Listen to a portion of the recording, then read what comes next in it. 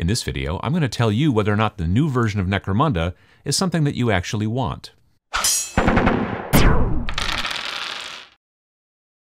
Let me just start off uh, this video by saying this is not going to be a review of Necromunda Underhive, the new version of Necromunda from Games Workshop. This is going to be mm, something else. So Necromunda brings back fond memories for me. It brings back fond memories for a lot of people, as it turns out. I never really played very much. I watched it played a lot because at the time I wasn't really buying, you know, war games back in the mid 90s.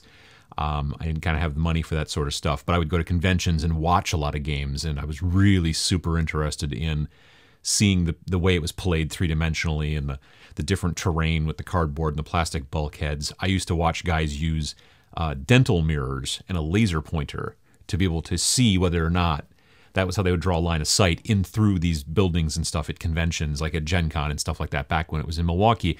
And it was super cool. And I was always very interested in it. And I read about it a lot in White Dwarf and things like that. Um, and I even bought a copy in the late 2000s at an auction that was still in the original shrink. And I got it for a crazy good price. Super good, like $60. And I sat on it for months and months thinking, do I flip it? Do I do I do I do I sell it, you know, on eBay or do I open it? What do I do? What do I do? I eventually sold it for about $250 on eBay. So that at this point now with the new release might have been the right move. I'm still not 100% sure. Anyway, all that's not super important. The fact of the matter is is that Games Workshop has released a well is about to release. It's coming out very soon, like in about a week. Um, a new version of Necromunda called Necromunda Underhive. Now, earlier in the year, they released a game called Shadow War Armageddon.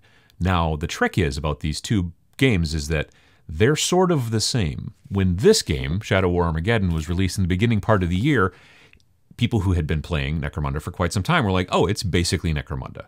It did not use the gangs. One of the big parts, you know, things about uh, Necromunda was that it was gang warfare. This new book, Shadow War Armageddon, was the same type of rules, and it was three dimensional terrain and the whole deal, but it wasn't battle between gangs, it was battle between potentially Eldar and Necron, or, you know, Space Marine Scouts and Grey Knights, or whatever. So you could use models you either A, already had, or B, you could easily find in your local store, and you could use whatever kind of terrain you wanted. They did sell a box with some cool terrain that was pretty limited, but you could still buy the terrain separately. It's still for sale in most of these stores, and it's now being kind of repurposed as Necro, uh, Necromunda terrain.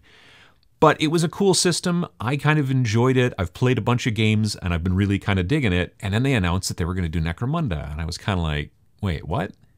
So they announced Necromunda back in, I don't know, April or May, I think, of 2017, uh, this year and they said, "Hey, we're going to be re-releasing Necromunda," and I thought, didn't you just sort of do that with, um, you know, Shadow War Armageddon? But they said it was going to be with gangers. I'm like, well, that's kind of interesting. I thought maybe it was going to be an expansion at first for, you know, um, Shadow War Armageddon. No, not that. Okay, well then maybe it's just going to be uh, kind of an add-on, uh, not well, not an add-on, but like a, a, just a completely overreaching. It's the same thing, only but now we've added gangs. No, it's not that either. So I was kind of confused as to what exactly it was going to be about. But because of the way that the new kind of Games Workshop works, through WarhammerCommunity.com and all that kind of stuff, we learned a lot about it sort of early on, which is nice, but I was still a bit confused. So my earliest fear was that they were turning Necromunda into a board game because the pictures they started showing as the year kind of ground on were pictures of the gangers, really super cool new models and everything, amazing looking sculpts. And I'm not even, I'm not really even big into the gang aesthetic too much. It's very kind of punk rock, which I like punk rock, but I don't know, it just wasn't. There's just a, lot of mohawks, but you know, it's still great, amazing, technically awesome models. Um, but uh, it looked a lot like a board game because it came with tiles, which the original Necromunda came with cardboard terrain that was three dimensional that you built with plastic bulkheads to kind of clip it all together. And like I said, tiles, kind of like um, Space Hulk. And it came with um, plastic doors, which are kind of like Space Hulk. Space Hulk's doors are cardboard on little plastic stands. And it came with a little bit of plastic terrain, like little kind of pieces of cover that you could hide behind, but it was predominantly all the pictures shown to be something that you played on a board that had squares on it. And I thought to myself, that's, I don't like the look of that at all. Well, I can tell you now that I've received it, uh, the box, it's very big. It's really heavy uh, because of all those tiles. There are a lot of tiles in here big, thick, sturdy cardboard tiles in the box, plus also uh, 10 for, uh, gangers from House Goliath and 10 from House Escher. Again, like I said, amazing looking um, sculpts. Uh, you can put them together in different ways. There's a lot of customization, things like that. That's really kind of cool. But all that stuff that's in here, instruction booklet, tokens, dice, and all of those tiles, those are the, the tiles really. The tiles are basically kind of a starter game. One thing that Shadow War Armageddon and the previous incarnation, the original Necromunda, were not, was kind of beginner friendly. The original Necromunda, at the, I mean, you were, it was okay for beginners because they understood, yeah, I can just put together a little bit of this terrain. But really, where it started to take off is when you added a lot more terrain. Whether you bought more, uh, you know, cardboard terrain and those plastic uh, bulkheads and started building some really cool big structures, or whether you just started building your own stuff. Now, again, like I said, when this first came out, this is back before laser cut MDF. This is back before 3D printed stuff. People were, when I was going to like Gen Con, people were building amazing looking three dimensional terrain and just super cool stuff out of plastic and, and wood and card and, and all kinds of different materials. And that's really cool when you go to a show and you see that. But your average person who's starting to think about getting into wargaming is not interested in going down that road. They're interested in something that they can open up in the box and put together and then play, hopefully relatively soon. So, to some degree, with this new Necromunda, that's the case. Those tiles, even though they have big giant squares on them and everything like that, my fear was was that you were going to be moving your characters along those squares kind of like you were playing, I don't know, Candyland or or, or, uh, or, or Monopoly, and say, okay, well these guys move four squares, so I'm going one, two, three, all right, and then I'm going to shoot. It's not like that. There are big squares, and there's a big tile, and there's walls and all that kind of stuff, but it's still played as a game of inches those uh, little squares might help you a little bit to kind of visualize the inches a little bit better, but it still comes with a ruler, the game does. And it is still designed to be played as a game of inches. You sit down and say, these guys can move four inches. And so you move them four inches. You don't count four blocks, you don't do anything like that.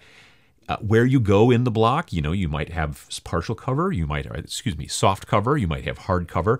A lot of the rules that are in this new Necromunda, if you've played the old Necromunda, or even if you've played Shadow War Armageddon, will be amazingly familiar. There's a lot that is the same.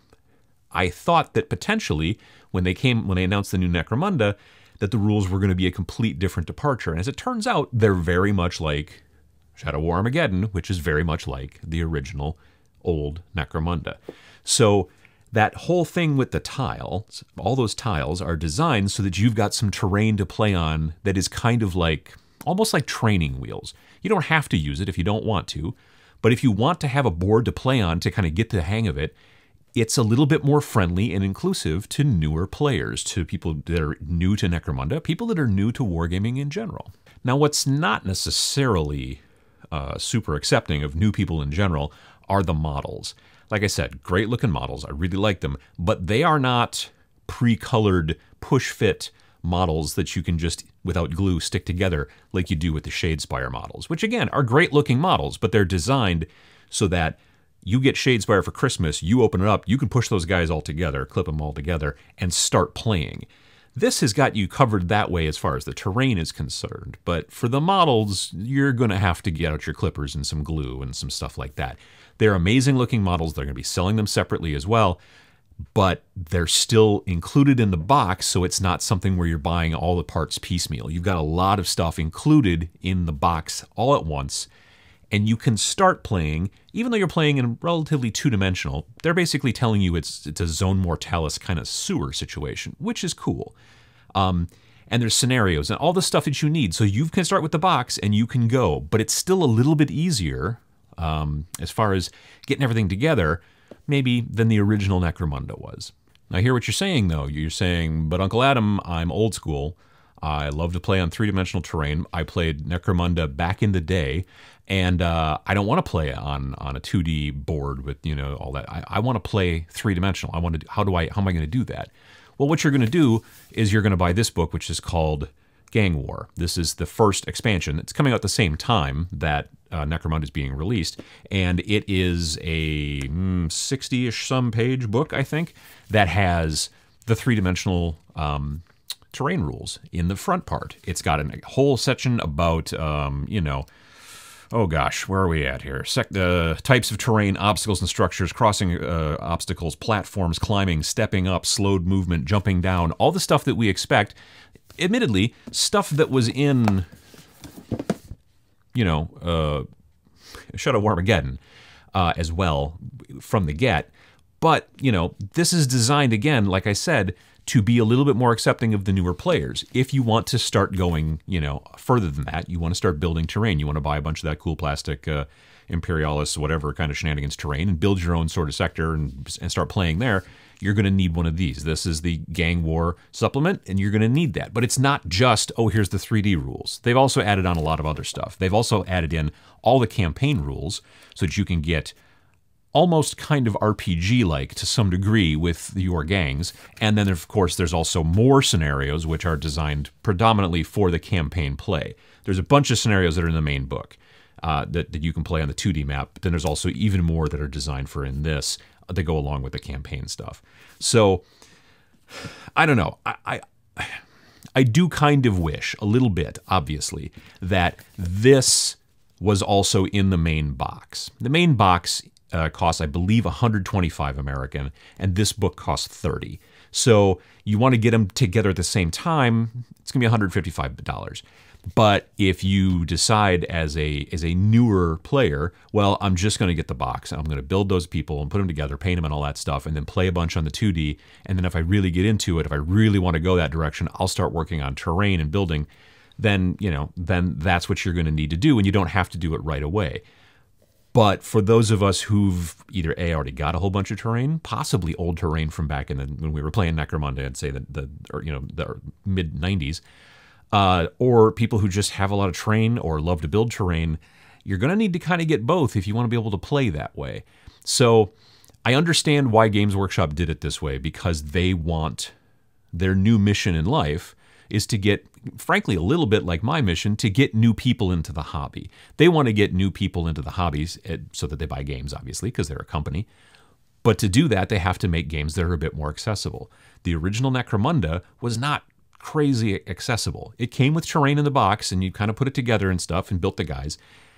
They could have done that with this, but I don't know. I think that the the the playing it this way, as in you're in a sewer battle, you know, in in the two-dimensional space makes sense. It's a good primer. It's a good thing to get started so that somebody can start playing.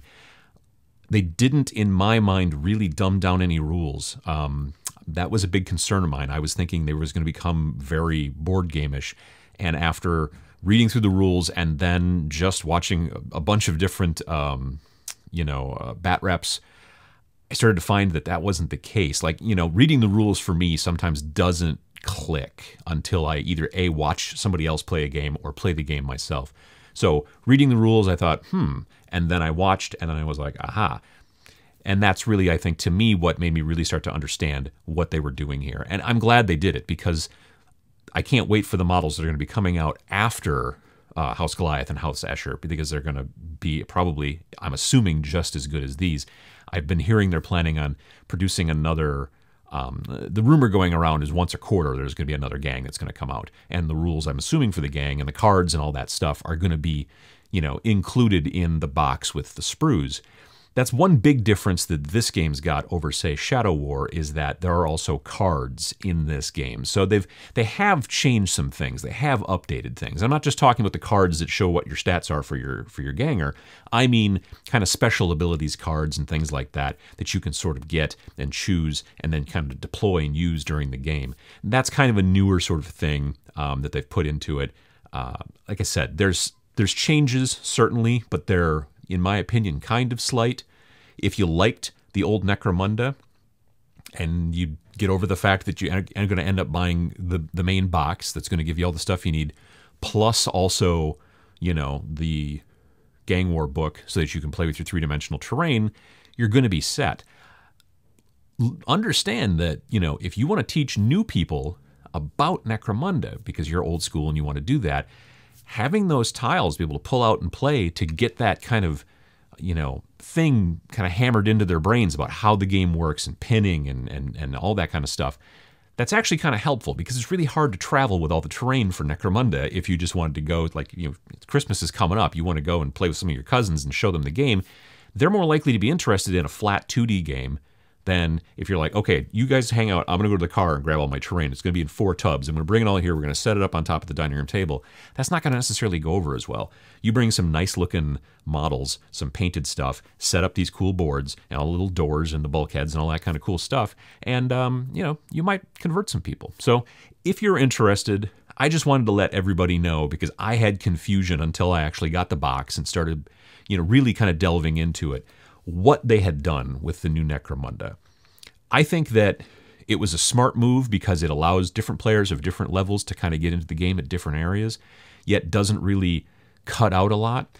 And uh, I don't know, I'm looking forward to getting myself my stuff painted and then start doing some playing.